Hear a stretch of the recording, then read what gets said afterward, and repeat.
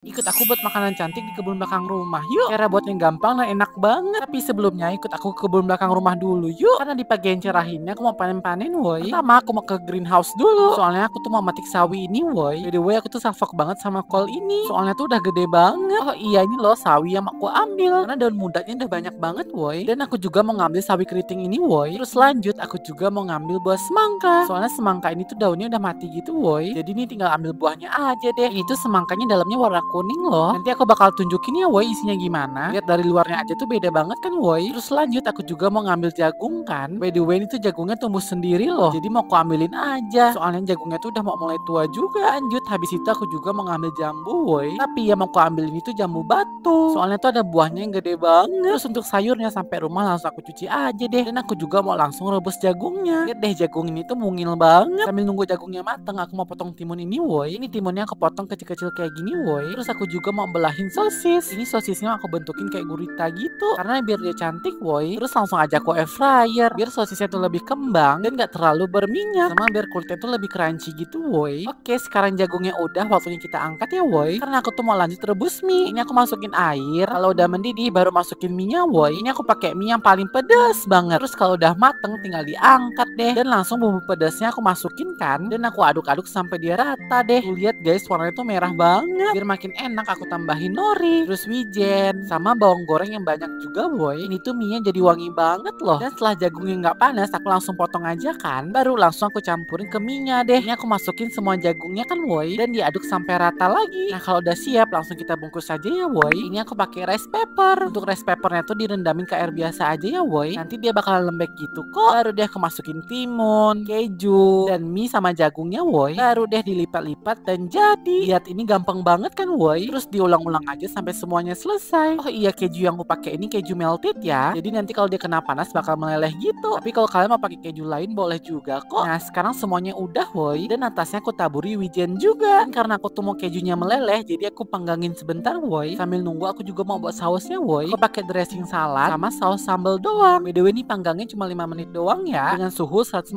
derajat. Baru deh sekarang kita letakin ke piring makan. Lihat setelah dialasin sama sayur gini jadi cantik banget gak sih? Jadi nggak sabar banget woi buat makannya. Oke, sekarang udah hampir jadi semua woi. Lihat woi tampilannya tuh cantik banget. Makanannya tuh jadi seger gitu woi. Oke, sekarang waktunya aku coba woi. Jangan lupa untuk dicocolin ke sausnya woi. Ya aku udah lapar banget woi ngelihatnya. Masuk ke mulut bener-bener enak banget. Wah, rasa kejunya tuh buat dia makin enak. Rasa gurih sama pedesnya tuh menyatu banget. Apalagi ditambah ada timun juga kan. Buat dia tuh makin seger banget woi. Lihat woi aku makannya tuh sampai nggak berhenti-berhenti. Aku yakin kalian juga pasti bakalan suka sih woi. Ini juga bisa jadi ide bekal woi. Tapi mungkin minyak diganti aja yang nggak pedes. Ini aku makannya bener-bener puas banget. Sesuai sama ekspektasi aku woi. Ini aku kasih lihat secara dekatnya woi. Dan ini so yummy banget. Terakhir aku tutup dengan makan buah semangka. Lihat dalam semangkanya tuh kuning banget. Terus untuk rasanya juga manis woi. Cuman itu agak banyak bijinya. Tapi tetap seger woi.